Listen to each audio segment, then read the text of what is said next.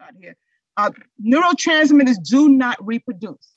They kind of just float around in your brain as damaged cells. And so that's why that's it's a risk factor of early warning signs when it comes to some type of mental condition or mental um, mental illness. People who are exposed to adverse child events or including abuse, neglect, divorce, witnessing domestic violence, drug abuse, that's also a, uh, a risk factor for early warning signs. And of course, lifestyle, uh, we talk about, we can say substance use uh, can increase chances of developing mental illness. And having a mental illness also can in- increase risk of, of using some type of substance use. Now, I, I want to stay right here for, for one moment. We talk about um, these risk factors, and I want to use myself as a case study. And so I want to kind of bring this case study in. Usually in my classes, we always we will have a case study where we can pretty much align what we're talking about to a real live case study uh, in my uh, my regular classes that I teach uh, throughout the week. So, so I'm going to use myself as a as a case study when it comes to a mental condition, and this is this is a real case. So, so bear with me. Um, during the COVID, um, I actually developed a uh, uh, a biological uh, condition that actually affected my physical body, um, and and we all know that we, talk about the anxiety that everyone experienced and, and at this particular time, uh, I think you, just like myself, wanted to do everything to, to, to avoid uh, the virus. We did all we could. Okay. And one of the things I was doing, I was taking supplements to try to make sure that I kept myself, um, uh, my, my immune system built up. Um, and so I was taking, and so I know I have some nurses out there but I was taking, and you know what I'm talking about, I was taking B12. I was taking a B complex, which is a combination of all of the B vitamins. I also was taking a multivitamin, uh, which had uh, B12 and some other Bs in it. I was taking a biotin um, and, and other, other supplements, vitamin C. And so basically, what began to happen, and I was not paying attention, I was actually taking too much, but I wasn't thinking about taking too much. I was more so thinking about I should, I, I want to make sure that I take enough supplements so I don't want to get this virus. So, what basically happened was the whole side of my left face began to become deformed and I noticed it. I, you know, as I would get up in the morning, get myself together to to get into the virtual environment to teach, I noticed some strange things was happening to the left side of my face. Um, but I didn't pay attention to. It. I said, oh, "I'll be all right." Taking all these vitamins, you know, I'm, I'm going to be fine. And day by day, it got worse and worse. And I wasn't paying attention to the early warning signs. And I kept taking the B complex, the B12, the biotin, the, the multivitamin. I kept taking all of that until one day I couldn't open up the side of my this side of my mouth, the left side. My eye never closed. Even when I tried to go to sleep, it was half closed. Um, this side of my face was always in pain. Now I'm having now just persistent consistent pain. At first, it was just a headache, and I think, oh, I'll just take some Tylenol or I'll just take some Aleve and I'll get rid of the pain in my head. Now I was taking the Tylenol and nothing was going away. Okay. And so this side of my face began to become more and more more abnormal. So much so that even a student made a comment in the virtual environment, Professor, are you okay? In the chat box. And I said, Yeah, I'm gonna be okay. I you know, I think you know, I'm probably going to see a doctor. And, so once that happened, once uh, I heard from a, a, student, I said to my husband, you know, I think I think I need to go see a doctor. And with COVID, I said, well, I don't know if I want to go to emergency room because I don't want to catch COVID. I, I think I'll just handle it myself. Okay. And and so so moving right along, fast forward, we, we did get to the emergency room. Okay. and again, not just not not looking at the early warning signs. This whole side of my face had just become literally just de- deformed, so much so that I couldn't even talk straight. I was talking with almost, I almost, it almost looked like I was having a stroke. And so I began to pray. I said, Oh God, you know, I don't know what's happening. I, I thought I was doing the right thing. Okay. Um, and so, so I began to pray more. I said, Well, I'm going here. I don't, I want to get in and out of there. I said, Lord, let me, I want to, you know, teaching these classes about cultural competence. I, said, I want somebody who's competent. So I literally prayed, said, God, give me an African American doctor. Um, and, and he answered that prayer. And, and so the doctor had diagnosed that I was actually taking too much B12 and that I should stop it immediately. Not only did I, I go to the emergency room, but I also reached out to my primary care doctor and I says, I think I'm having a stroke. And she says, Well, if you're having a stroke, you need to get to the emergency room right away. And so she followed, she made a follow-up call to me to make sure I was okay. As soon as I got out of the class, my husband got home, we went straight to the emergency room. And they had to actually give me a steroid to straighten out this side of my face because I ignored, I ignored the early warning signs. And so, so just keep that case study in mind as we go forward risk factors and early warning signs is critical when it comes to your mental health.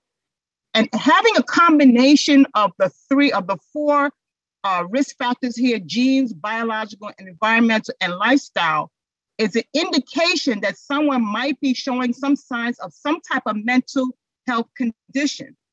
Okay. And I was mentally, I thought I was doing the right thing and I, you know, felt like, yeah, I'm, I'm, I'm going to be okay. And I felt like I didn't need to reach out to anyone. And yes, I was taking those supplements for a few months, maybe four, five, six, six months, and not realizing that I was doing damage to, to my insides. So, so we have to be aware of, of these symptoms when they last longer than a few weeks when it comes to our mental health um, and when they last longer than a few weeks, it begins to affect our daily uh, responsibilities. It can affect us in school. It can affect us at work. It will affect our relationships.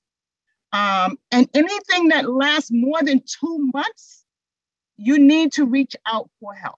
You need to reach out for help. We need to address the symptoms early, um, identify the underlying illness, and plan an appropriate course of action. Okay, and so in my case, um, it, it, was a while that that I, I just I, I just let it go. I just felt like I'm going to be okay uh, without reaching out for help. So.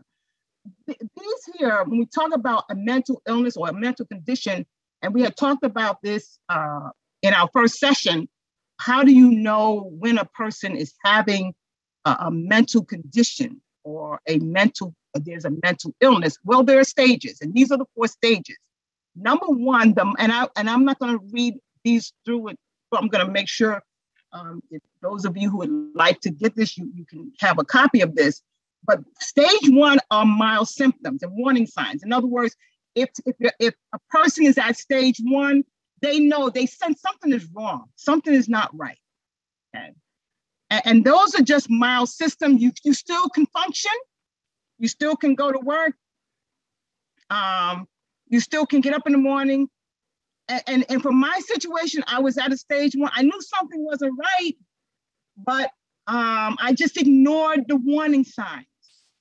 Stage two, symptoms increase in frequency and severity and interfere with life's activities and roles. Okay. And so in my case, again, I wasn't thinking, I felt like I thought I was doing the right thing. I kept on taking all those B's and all those supplements. And now it's now starting to interfere. It's starting to, this thing started happening to, to my face, but I still was able to get to work. I was still was able to function in a home. Okay. started getting headaches. Um, it became obvious now that something was wrong at stage two um, because I, my whole face started to just twist in abnormal ways. Stage three, symptoms worsened with relapsing and reoccurring episodes accompanied by serious disruptions of life activities and roles. And I don't think I really got to stage three. I think it was at stage two where I said that I need to go and, and get this thing straightened out. I'm not sure what's happening. Um, I need to go get it straightened out. I reached out again to my doctors. And it was a doctor that said, Well, what are you taking? And when I told her what I was taking, she immediately said, Well, that will do it. Uh, if you're taking too much bees, that certainly can cause some side effects. Um, and of course, when I went to the emergency room, the doctor was able to diagnose the same thing. So, stage four, um, this is where the person cannot function anymore when it comes to a mental illness. There's impairment. Um, the condition can cause a crisis in the person's life. There is extreme, prolonged persistence symptoms of impairment. The person can lose their job, they become hospitalized. Some people uh, can become homeless. Uh, worst case scenarios, uh, mental illnesses can also lead to a loss of life, an average of 25 years earlier, if a person is at stage four. Stage four, the person may need uh, to go now to some type of psychiatric uh, facility in order to help to stabilize or help that person with their mental. And at this point, at stage four, becomes a mental illness. Okay. So, so, so how do we help someone dealing with a mental illness? Um, and this is another question that had come up. Um, how, how do we help someone if they are at the stages, maybe uh, if they are at a stage four and they have not come to the realization um, that they do have some type of something is going on, something is wrong. They don't reach out for help. They don't reach out to their PCP. They don't reach out to a loved one. How do we help someone who has now reached stage four um, as relates to mental illness? If your loved one is showing any signs of a mental condition, um, have an honest conversation with them about their concerns. Talk to them about it. You may not be able to force uh, someone to get professional help if they're in denial. Okay. I was actually in denial for a while until I, I could not uh, uh, withstand the pain that I had in, in my head until I really, the, the twistedness of the, the left side of my face was, was obvious. Um, I, I started talking because I I started talking to my husband and I called my doctor. Something is going wrong. Something is not right here. And then, of course, I found myself in the emergency room. You can offer encouragement and support to that person who might be in denial. But remember that we cannot force anyone uh, to go for professional care.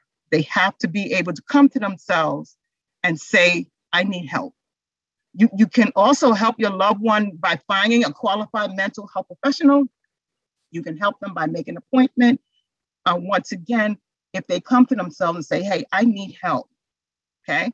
Uh, very important point here. If your loved one has done self harm or considering to do so, uh, you need to take immediate action and take the person to the hospital or call for emergency help.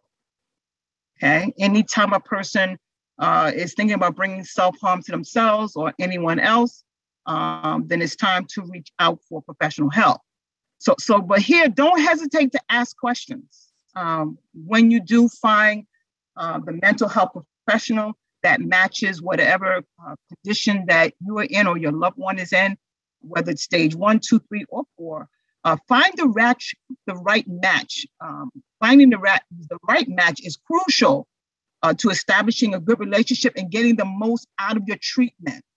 Um, and again, we can look at the spiritual perspective. Uh, when I finally had to get to that emergency room, I actually did pray. And I said, Lord, please, I, I really want the right doctor here.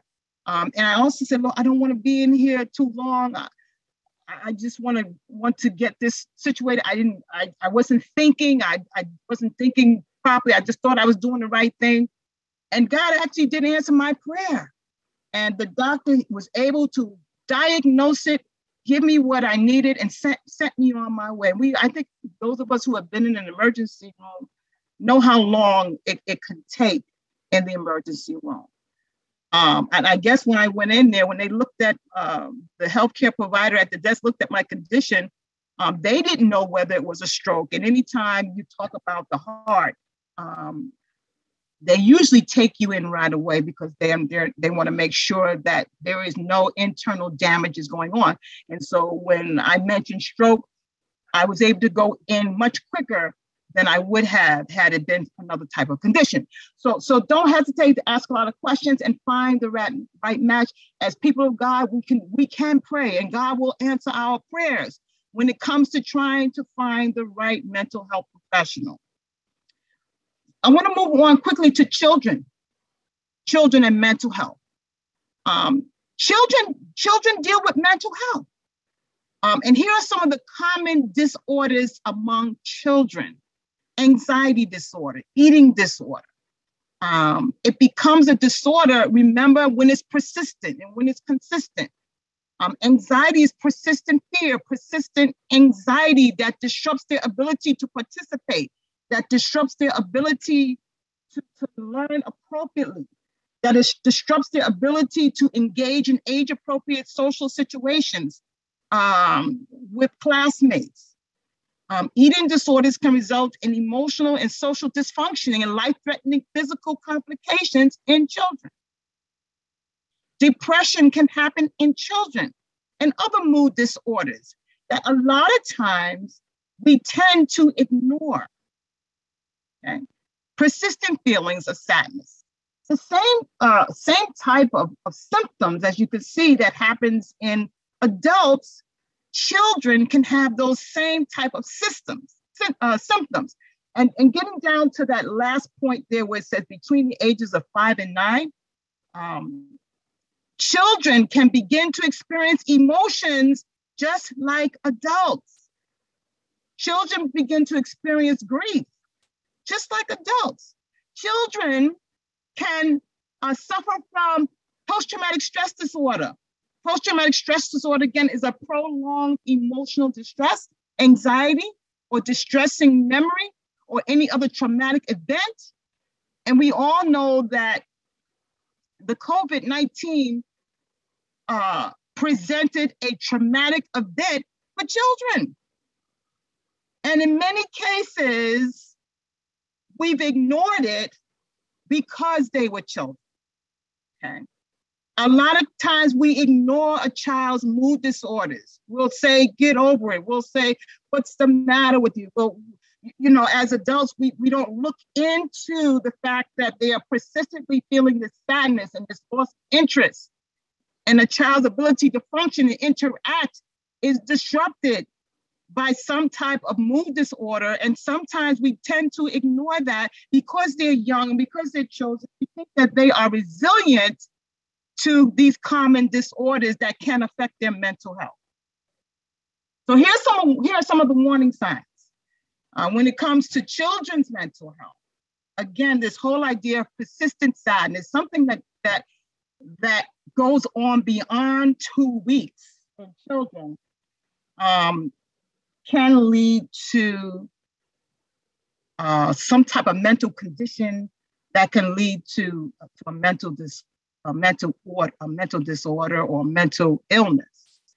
Uh, withdrawing from or avoiding social interactions, hurting oneself or talking about hurting themselves. Um, these are all warning signs um, of a mental condition that could lead to a mental disorder. Uh, talking about death or suicide, um, studies show that adolescents usually have a hard time with dealing with the transition from being uh, a young child and now transitioning into a child. And adolescents statistically uh, talk about suicide or death because that transition um, it, it's hard for them because now they're beginning to grow, they're beginning to blossom, and uh, a, a, lot of changes are happening to their physical body. And if they don't have the support systems to, to help them, um, it, it could lead to suicidal ideation, um, outbursts, or extreme irritability. Uh, when it is consistent, that child is having some type of mental uh, condition that could lead to a mental illness, out of control behavior uh, that can be harmful. Uh, children during um, the, the COVID season uh, don't understand the whole, whole idea of wearing a mask or um, they, they don't understand this whole idea of trying to stay safe or you know you got to wash the cans down when you bring in the groceries or you know you have to to make sure that you social distance. And so in in some ways um, not only not only dealing with the part of just growing up um, and and trying to socialize themselves with their friends now they have to deal with something called a covid-19 virus. And in some ways children may even act out. Um, they meet, there may be outbursts, there may be extreme irritability, um, but not even not even extreme irritability, just irritability from a normal sense of the abnormal things that have been happening. And so, as adults, as parents and caregivers, um, these are some things we're going to have to understand. Um, if a child is showing any of these signs, it, it could be some there's could be something going on. It could be a mental condition um, during the COVID, children showing these signs should have detected to us that they are going through something that they just don't understand, which means that we have to be more reasonable and we have to be more understanding and patient with them so that what they were going through with COVID will not lead them to any type of mental condition. Okay. Loss of weight, difficulty sleeping, or concentrated, frequent headaches and stomach aches. All of these things that children are going through are some of the similar symptoms that adults go through and, and really have to be looked at and paid attention to so that we can get them the proper help that they need. How do we help? How do we help, or how can I help my child? Should I suspect a mental health condition, okay, the first thing you need to do is to consult with that child's health care provider. That is the first thing. Um, the, the healthcare provider, the PCP or the pediatrician knows your child. Okay? And before you do anything, um, you should call that doctor and explain to that doctor what's going on with your child the, the teachers, um, if that child is in school, um, should also be asked Have you noticed anything different about my child? Uh, have you noticed any changes relative to their behavior? Uh, or other caregivers, uh, daycares for, for children who are not in school, babies, 10 month olds, one year olds, three year olds. Those children also experience what we call post traumatic stress disorder. Um, your child's healthcare provider may recommend an evaluation by a specialist, or that child's uh, healthcare provider may recommend that you bring the child in so that he first can evaluate the health condition. Um, and then from there, if need be, they will uh, do a referral to a psychiatrist or a clinical social worker or a psychologist. But but here's the key thing: what we must understand is that and, in our role as parents, as as um, uh, caregivers, as uh, child care workers, um, as teachers, um, those of us who work in daycare uh, centers, you are at the forefront, forefront and you are an important and play an important role in supporting that child.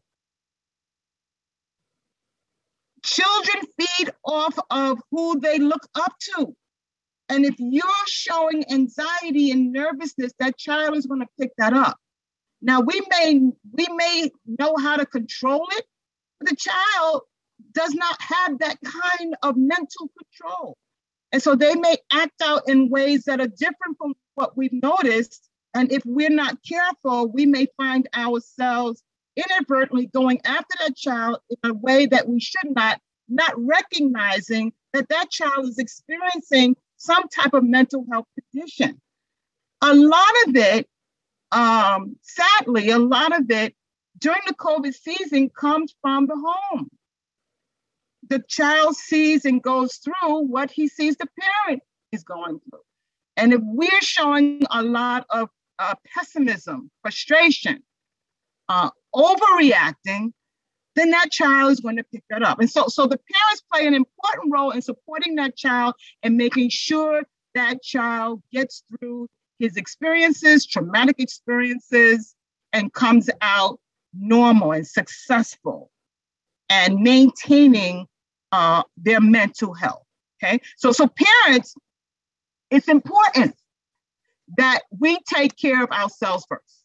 Caregivers, teachers, it's important that you take care of yourself first before you can care for that child. If you're not taking care of yourself, uh, the child again will pick up on that and could experience some of the same type of mental health conditions that you're experiencing. Okay? So, so here's what we need to do in order for children to have good mental health, especially during this post uh, post pandemic or endemic season that we're in.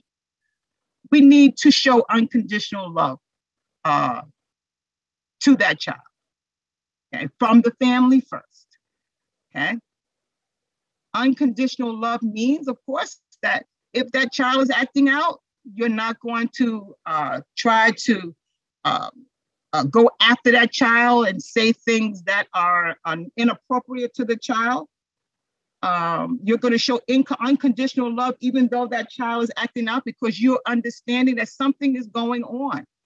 And so you're going to pay attention, you're going to focus, you're going to monitor uh, that child. Self confidence and high self esteem is very important for children. Affirmation and encouragement uh, play a key role in building a child's mental health.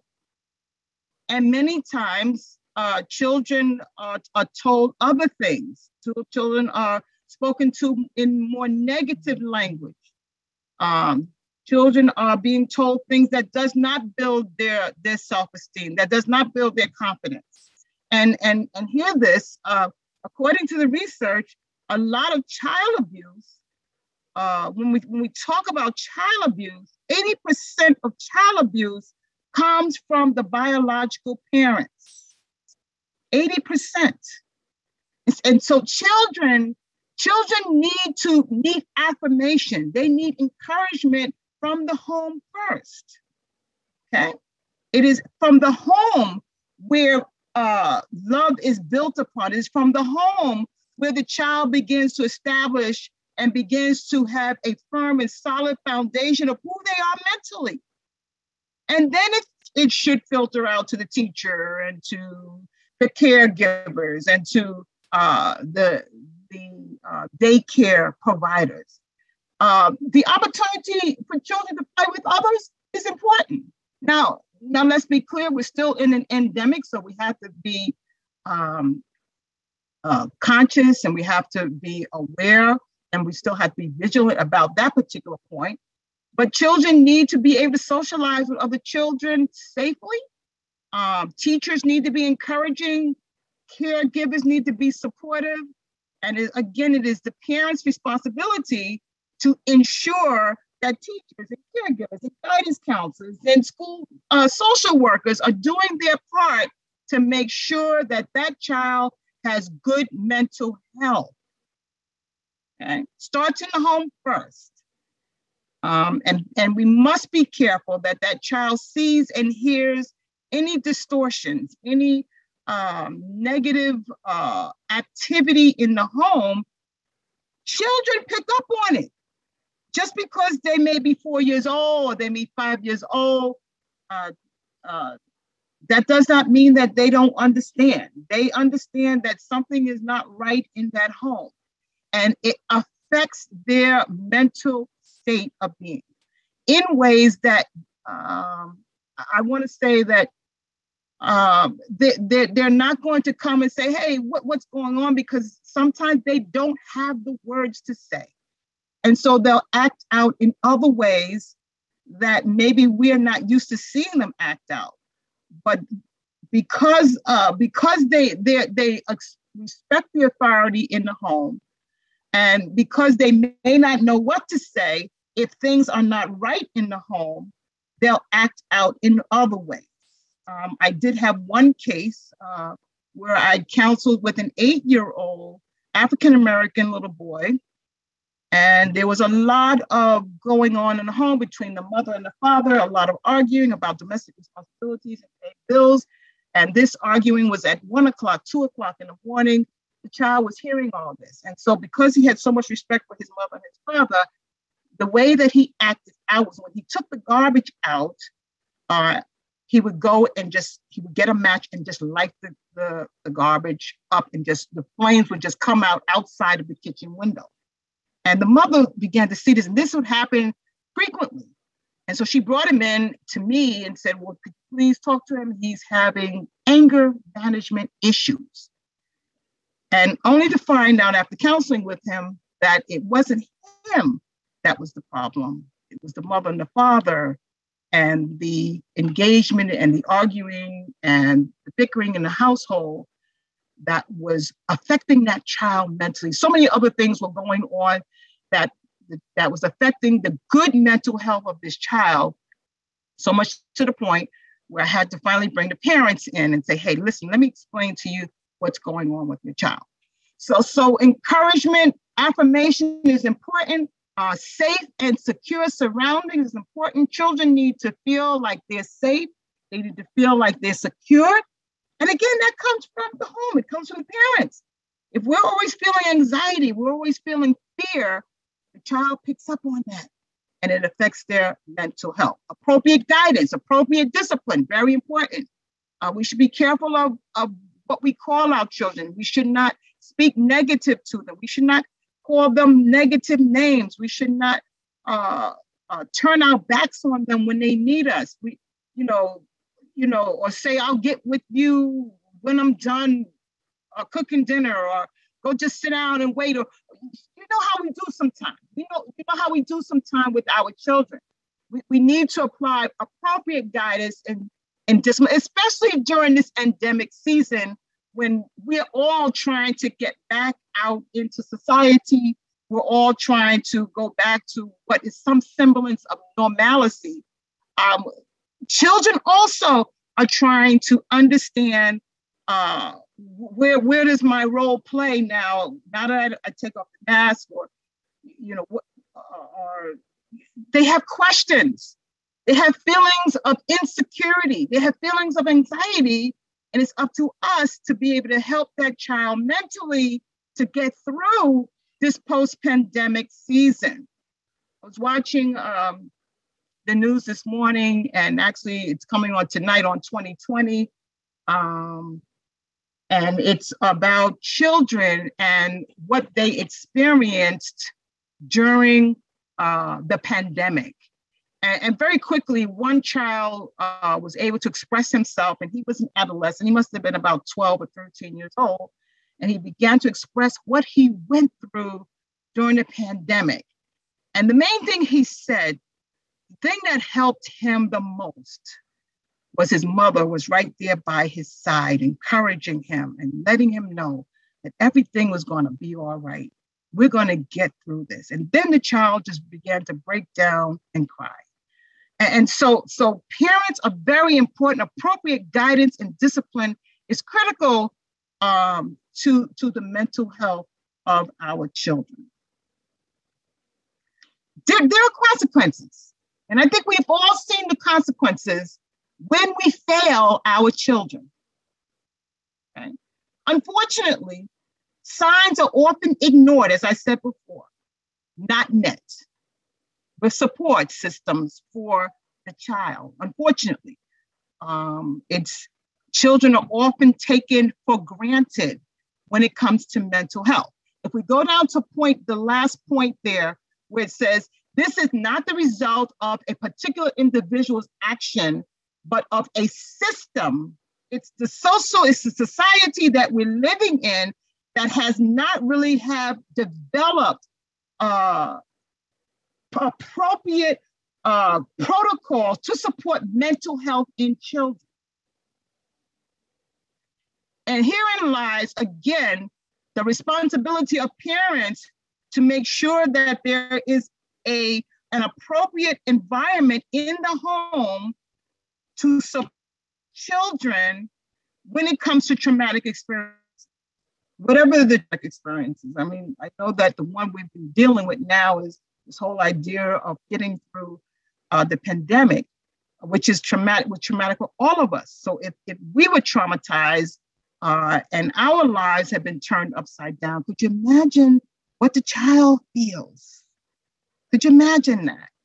Um, to go into the supermarket and to look up and see all these people with masks on at five years old, four years old, and just to stare like they're looking at somebody from outer space.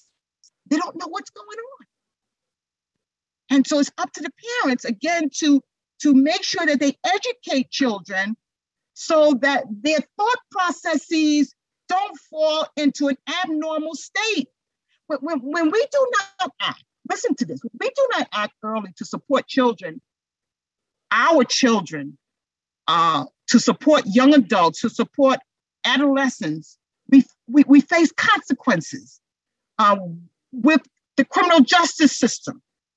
We face consequences with suicidal ideation. We face consequences of our children leaving the home, dropping out of school when we don't support uh, their mental health.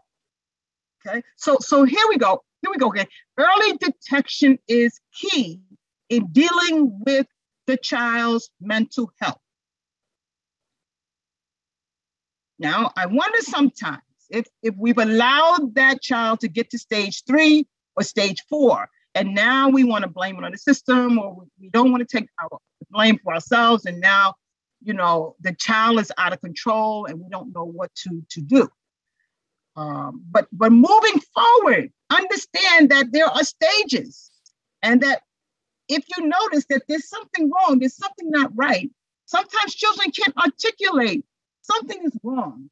Okay, like we can articulate. I was able to articulate. Um, there's something not right with me. I, I don't like what's happening, and it's been going on too long. And sometimes children cannot articulate that. But we, as the authority in their lives, should be able to detect that and should be able to see early warning signs and then seek out early intervention for our children.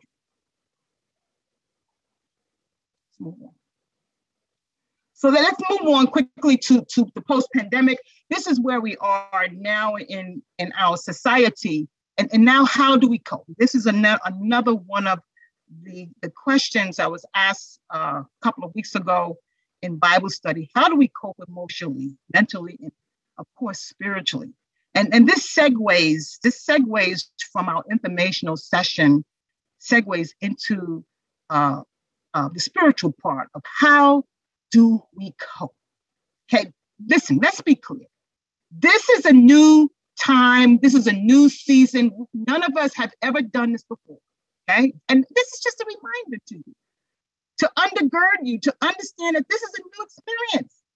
These are especially new challenges and they're filled with the unknown. They're filled with uh, things that we don't understand, uncertainties that, of course, make us all anxious. It makes us want to, to question, ask questions. And now we're talking about a new variant, the BA2 variant.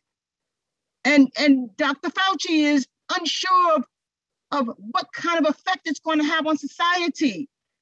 And so it's a new experience for all of us. And we're all going to go down in history as survivors of the pandemic. And it's normal. Okay, let's be clear. This, there's no mental illness about feeling anxiety. Um, there's no there's no mental illness. You're not going you're not going crazy uh, when our lives have changed so dramatically it's a normal feeling. But if we allow that anxiety to persist, if we allow it to be consistent, it could lead to a mental condition. And so, therefore, what do we have to do? We have to accept our feelings. Okay. Yes, you have to accept your feelings of anxiety, accept the fact that you're feeling anxiety. Take, take talk to someone about those feelings. Okay. Talk to someone who's going to be helpful to you about those feelings. Um, talk to someone who's going to reinforce to you that, listen, you're not alone. Okay. Every day in my home, we were talking about this, this pandemic. We, we just get it out, we talk about it, and then we would let it go. Then we would move on to something else. The thing we you don't want to do is to hold on to this anxiety. You don't want to go into isolation and keep all of this bottled up on the inside of you. Because what happens is not only does it begin to affect you mentally, but now begins to affect you physically. Okay? So, so accept those feelings. Understand that you're not alone. Ask yourself, what, what did you do to stay resilient over the past 24 months? What kept you to this moment, to this now endemic? What are the things that you did in your life? Was it prayer? Was it meditation? Did you eat right? Did you talk to someone? Did you seek out help through your primary care physician? Did you talk to a psychotherapist? What is it that got you to this moment? Meditation is, is a wonderful tool when it comes to dealing with uh, coping. Mindfulness, excellent uh, self care techniques that can help you to increase your focus. When you are intentional about relieving the stress, when you're intentional about doing what is appropriate to keep yourself balanced and not, you know, uh, keep yourself at optimal level because the anxiety is, is there. The anxiety is going to be there. The tension is going to be there. The unknown is there. But what can you do? Okay. What can you be mindful of doing on a consistent basis that will give you better sleep, that will promote the release of the stress that, that we all have had to, to experience over the past 24 months. What can you do? Okay. Um, reflections is uh, a channel, some of you may listen to it um, at night, especially when you can't sleep. Uh, but it comes on from 3:30 a.m. to 5:30 a.m. in the morning, and it is just quiet, Christian, relaxing music and uh, we've had to do that in my home many times. Just turn on some music. And it just really, you don't see it from a physical perspective, but from a spiritual and from an emotional perspective, your body just begins to relax as you let go of the stresses, as you let go of the anxiety, as you let go of all the things you heard on the news and allow this relaxing music just relax you and push you to sleep. Listening to spiritual biblical teaching, dynamic biblical teaching is, is another uh, uh, thing you can do spiritually uh, and be mindful to do it. Um, there have been times where we have been in church all day. Um, there was uh, one Saturday in particular where we got up in the morning at nine o'clock and we turned on virtual church service Okay. And we were there until four o'clock in the afternoon. Um, and we just kept listening to service after service, and the anointing that was in that service just came into our homes.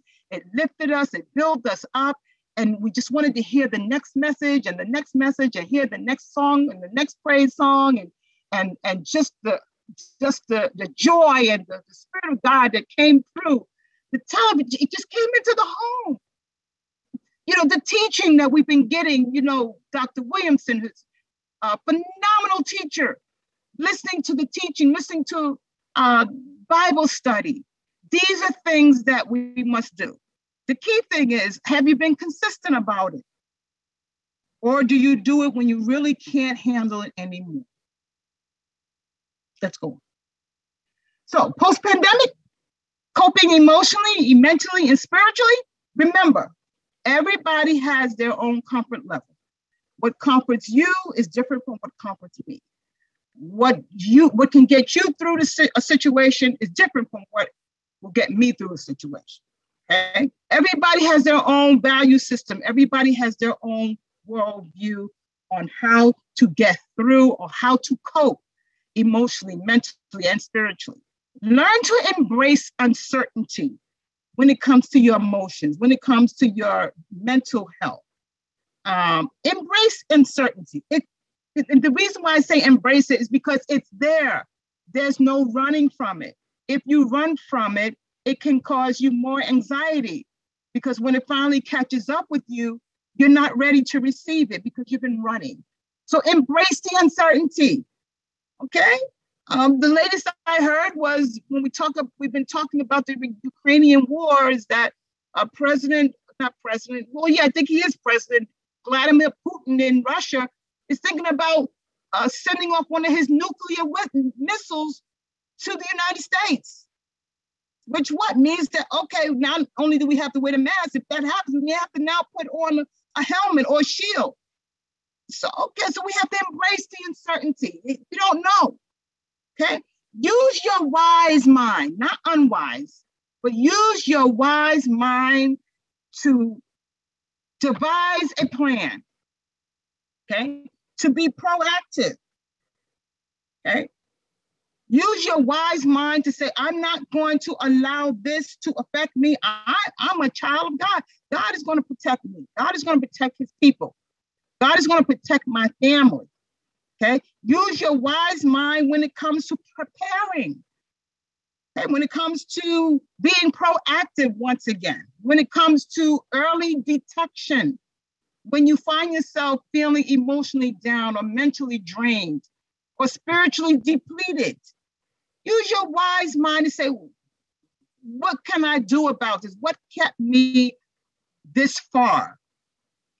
Okay. And mm-hmm. maybe I can use those things, or yes, I can use those things to take me to the next day. Take it one day at a time. Tomorrow's not promised to any of us, but we have today to enjoy, amen, the blessings of God. Look at uncertainty from a different perspective. Okay? I started looking at the pandemic from a different perspective. I stopped looking at it from a negative, pessimist perspective. And I started looking at the fact that, hey, we've actually been blessed during the pandemic. I've actually been able to save money. Um, I hadn't had to burn a lot of gas in my car. I've actually had the opportunity to teach in the environment. Um, I was able to get certified to do online teaching. There's so many good things that have come out. So look, look at it from a different perspective. Instead of looking at the bad, the, the negative, Look at the fact that you're still here. There's so many lives that were lost. But for some reason, God has left us here. And He's left us here for a reason, and He left, left us here for a purpose. Okay? The mission is for us to fulfill our purpose. Okay, let me just check on my time real quickly.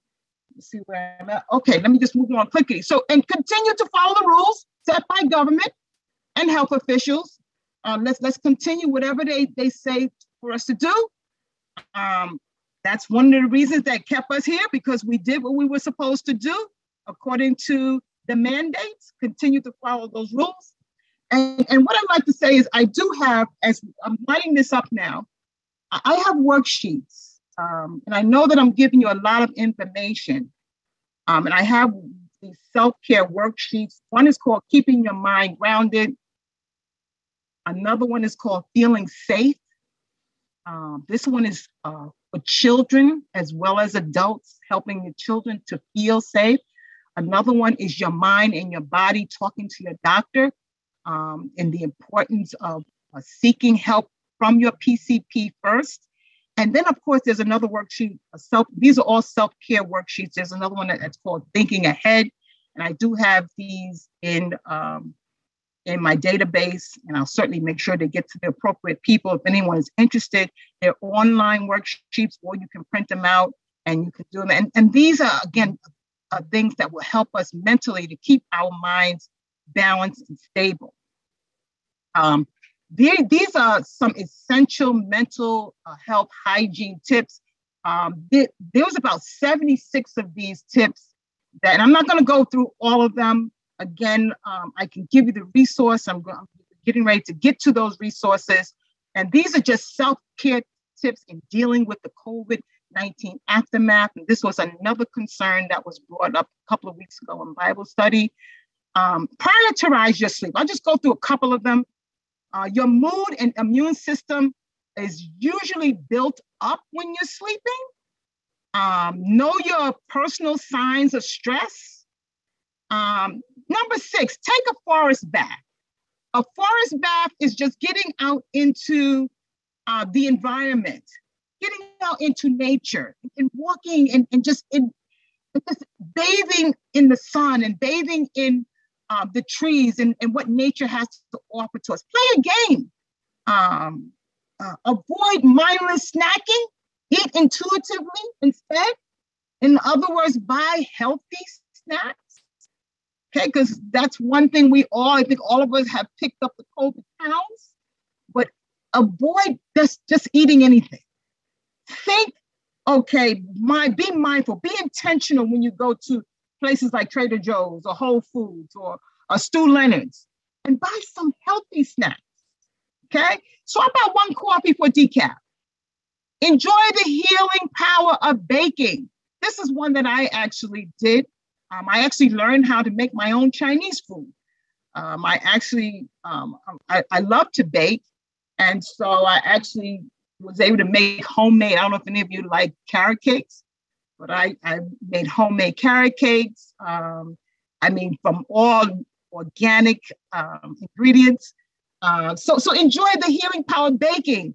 And, and, then what we did was, you know, I, I sent it off to my children and they, you know, texted to them and and actually got my son, my oldest son, who's a musician, and got him into cooking.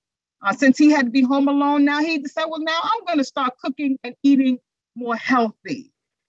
Okay, reach for a high protein snack when you need an energy boost instead of reaching for Mr. Goodbar or Snicker bar or Almond Joy. Or, reach for something more healthy. This all of this helps to, to, to build your, your, your mood, make you feel better physically. Let's let's move on quickly. Um, cook yourself a nutritious meal. Um, and, and I think we all know about nutrition, and I'm, I'm not going to go there, but we, we all practice kindness and gratitude. Um, it, it, helps to, to boost and make you a happy person. Um, relax to a good audio book or stand up and just stretch. Um, let me see what else can we do here. Let's let's move on quickly. Move on quickly. I put in 35 of the 76 self-care uh, tips uh, call a friend or a family member. Social connect, social connection can do wonders for your mental health. Uh, one of the things my family did was they put together a, a text string of about maybe about 15 or 17 or 18 of us. And so one text message goes to everybody, and just to keep everybody informed on whatever is going on. Um, avoid nonstop news consumption, very important. Um, and we had to stop doing that never we started we started watching the Food Network. Uh, we started again watching more uh, uh, concerts and praise uh, music and church services. And uh, one night we went to a, a, a Winans concert virtually, um, going to services again, dynamic, spirit-filled services uh, in Chicago and we also went to uh, we also went to Georgia um, and and looking at watching these services and and and and just really gleaning uh, music. My husband listens to music and gleaning music where we can bring and share with the ministries that that we've been supporting. Um, uh, so so avoid that nonstop uh, news consumption. One of the other things we did was on our anniversary during the pandemic, we actually took a virtual vacation, believe it or not. We took a virtual vacation. We went to Hawaii. We took pictures. I cooked a Hawaiian dinner for my husband for our, our anniversary. And we, we took the pictures and we sent it to our children. They got kind of angry with us because they really thought we got on the plane. Like, how dare you guys get on the plane? They didn't know how to really tell us they were angry. So one of my sons just broke out and he says, Mom, I can't believe you guys went on a plane and went to Hawaii during the pandemic. And I said, No, we, we actually took a virtual vacation. And it, was fun. It, I mean, so, so, so you have to avoid sometimes watching this this news, uh, consistent bad news, consistent news that that that raises your level of anxiety. Uh, uh, uh so here again are some helpful tips. Um, again, if anyone needs these, I'll make sure that you get them. Um, and, and so as I as I we're moving towards closure here, um, these are some now that we're into the spring. Uh, let's do some spring cleaning. Let's start with our minds let's spring clean our minds, the, the, the junk, the, the clutter, the, the, the nonsense, the, the, the mm, some things that are not, not positive that you've been holding on to in your mind. Let it go. When God wakes you up, it's a brand new day, brand new mercies. Um, great is his faithfulness to us when he wakes us up in the morning. Let go of, of all of the things that are not like God. Let go of all of the things that seems to make you angry or seems to raise your stress level. Treat yourself sometimes. Eat healthy. Uh, focus on your growth. Spend some time in the sun. The sun is a, is a good source of vitamin D3. Uh, create, again, a nourishing morning routine for yourselves. One of the things I do in the morning, believe it or not, is I jump rope. Um, you know, to keep my heart pumping. I, you know, every day, and, and, and at first when I started, I, I couldn't get through a few jumps, but now I'm able to jump consistently because I was consistent at it. Um, spring clean your home. I'm actually now putting a list together to, to spring clean my home because I'm in the home. So, you know, I'm going to do some things to, to get ready for, for, the, for the nice weather that's in front of us. Do something that you love to do. Um, most of all, love who you are. The past is over, let it go. Let go of the past. Go outside. Feel good about about yourselves and, and who you are as people of, of God. Uh, and, and here we go. Here we go. And if the if the midnight comes, uh, and the midnight will come, uh, here are just some foundational scriptures uh, that you can uh, con- consistently uh, keep before you. let it become a part of your life. You know, let the word of God dwell in you richly uh, let the word of God be a light unto your feet and, and, and, and to your pathway. Set your mind on things that are above and not things that are on the earth. Yes, we think about it, but always think about heaven and what's happening. Think about the scripture uh, in Matthew 24 that says, you know, when we see all these things happening, wars and rumors of war, when we see, you know, earthquakes in diverse places, when we see hurricanes in places that we did not we didn't think we would see a hurricane in. The scripture says that as people of God, we have to look up because our redemption draweth nigh. Let the words of your mouth and the meditation of your heart be acceptable in his sight. Let God be pleased with what you say. Again, these are just some foundational scriptures because will the midnight come? Of course, it's going to come again. Of course, there's going to be another challenge, but know that you are more than a conqueror through him who loved you. And you should know now, or we should know that we're conquerors because we got through. We got through this, this situation. The storm is over. And now we're going downhill with it, which says that we are not just conquerors, but we are more than conquerors. And then this other scripture here in Romans 8 and 5 says, For those, again, who live according to the flesh, set their minds on things of the flesh. Those who live according to the Spirit set their minds on the things of the Spirit. And so you must ask yourselves, what are you thinking about? What's on your mind? What's on your mind? Have some more insights. And so, therefore, prepare your minds for action. In other words, we must be doers of God's word and not just faithful. We've been faithful to hearing God's word. We've been faithful to to studying God's word, but are we really doers of God's word? Are we really standing on the faith that we've been studying about for years? Do we have a sober spirit? Is our hope fixed on the grace that God has given to us through Jesus Christ? And so we, we've got to let this mind be in us, the same mind, because we all, we all have the spirit of Christ in us. And so therefore, we have to let this mind be in us, which is also in Christ Jesus. And again, we, we must remember these when the midnight comes. There's some insights for midnight. When the midnight comes around, let the word of God come forward in you. Let the word of God come forward for that issue, for that situation. And I guarantee you, he's going to give you some insights. He's going to give you what you need to do, who you need to contact. He will give you the doctor that you need to get to, to for the situation that you're dealing with or the situation that your loved one is dealing with. God will give you direction. When you keep your mind on Him, people of God, I'm a witness that He'll keep you in perfect peace because your heart safely trusts in Him. Now, if you're not in peace, and you have to take a look at yourself, you have to look at yourself first.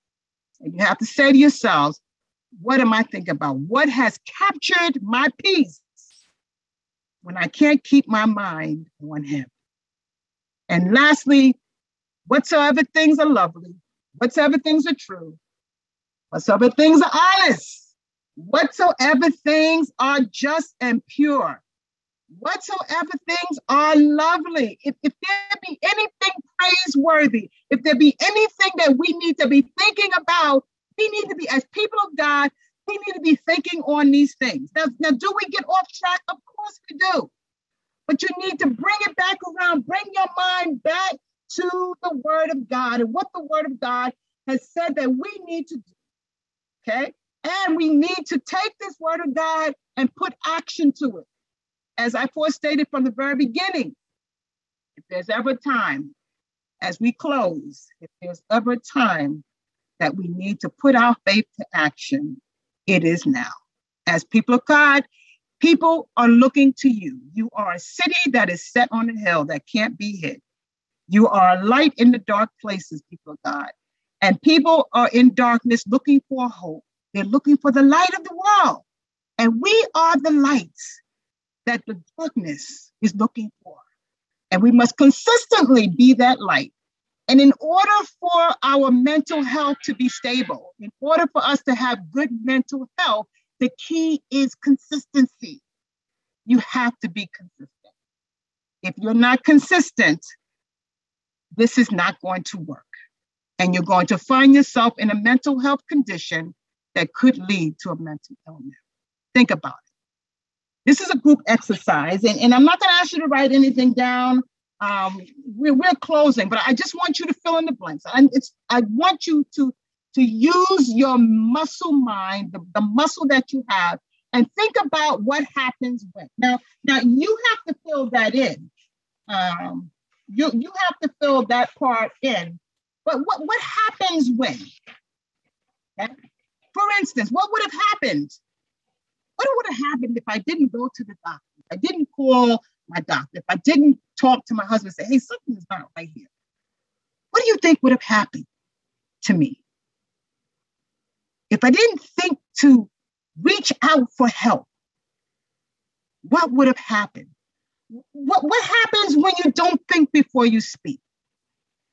What happens? Somebody gets wounded. And that wound stays with them for a long, long time. But what happens when, when you don't plan ahead? Think about that. Okay? When you say the wrong words to a child, to an adolescent, that child is wounded for a long, long time. Um, think about it when you say the wrong things or the wrong words to your spouse or to your coworkers, to your friends, to your supervisor. What happens if that happens? Think about what would happen if um, if you just left the pot on. You didn't turn the fire off. You left the iron going. Okay. If you, if you let the left the space heater going in your house, you could burn the house down. Think about what happens when you don't think before you act. Think about what happens when, when you don't do things early, the repercussions, the unnecessary anxiety, the unnecessary stress, unnecessary nervousness, the impact on the mind and the body and the spirit when you don't plan ahead. Okay. Think about when, if, if you just, I don't know, maybe you put dirty dishes with clean dishes or dirty clothes with clean clothes. Think about what happens when that happens. Think about what, what happens when you wait to the to the last minute to get a project done on time. Okay? Think about the mental stress that leads to physical sickness. You you fill in the blanks. You all have your what happens when. I don't think first. And the key thing again is if we're going to have good mental health, the key thing is we have to be consistent about what we're going to do.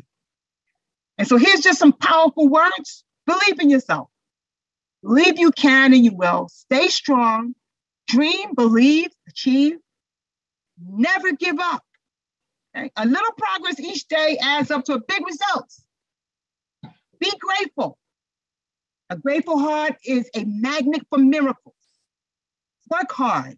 Good things come to those who hustle. Stay humble. Work hard in silence. Let success make those noise. Be kind. Kindness makes you the most beautiful person in the world. And keep smiling. Because if you smile, you make life beautiful. Amen. And you make the world around you and you make the people around you feel good as well. And so here's some resources um, number one, uh, once again, uh, the first step is to talk to your doctor uh, who may recommend some physical checkup first. Um, and if they find out that there's some underlying physical or mental condition um, that's causing mental health symptoms, um, they will refer you. Uh, contact a minister or a spiritual leader. We cannot forget uh, that we are people of God and we are faith community. Um, so reach out for help. Don't don't try to go this journey alone. Pastors, uh, uh, counselors who offer integrated religious and spiritual approaches to treatment. Uh, your doctors will refer you to a psychiatrist or, or a psychotherapist. Um, and here are some other resources. I won't go through all of them. Um, the one here on depression, that, that particular site we talked about last week, the BIPOC, B-I-P-O-C at the bottom of your screen. That is a site actually for uh, African Americans and people of color. Uh, if you're looking for um, someone of color to support you, you can certainly go to that site. Um, and there you will find a wealth of information that can support you. Um, the telehealth is an affordable mental health care online services. Um, you can get help with or without insurance. Um, there are regular virtual calls if, if you don't want to go out just yet. Um, there's unlimited online messages. Um, here are some other resources. Note at the bottom of your screen, if you're if you are over 65 years old, Medicaid pays 50% of the cost of mental health treatment, and the Medigap insurance will typically reimburse the remainder um, if you're 65 years and older. Um, and I actually did do some research on the emergency room. We had talked about that last week. And I also found out that um, actually emergency room or the emergency department just within the past between 2004 to 2016 i believe recently just started taking in uh, people or individuals who are coming there with mental uh, health conditions. Um, and they will take you in and they will um, actually uh, uh, give you a evaluation and if need be they will refer you. Um, and that is most emergency rooms now will do that. Um, i also learned that 44% back in 2006 i believe it was 44% of emergency rooms was taking mental health patients. Um, and in 2016 that percentage went up to 415% uh, of individuals are coming to the emergency room uh, to get mental health treatment. 415%. So you can see um, that people are dealing with mental health conditions um, in an enormous and impactful way. Um, here are some other resources. These are uh, immediate response resources. Again, I won't go through them uh, one by one, but I will send them out. If anyone is looking for it, I'll make sure it gets to the appropriate people um, at Bethel Baptist Church. And these are other resources. Some of them are 24 hour resources, phone numbers. There's caregiver help at the bottom if you're having problems um, as a caregiver. There's information there for you as well. And then here is a reading resource. I just thought I'd put it in here. Anyone, some of us like to read. This is everyday mindfulness. Um, in, in just minutes a day, you can change uh, that stress state to one of serenity and peace. You have the power to do that. Again, mindfulness is important. To be intentional is important.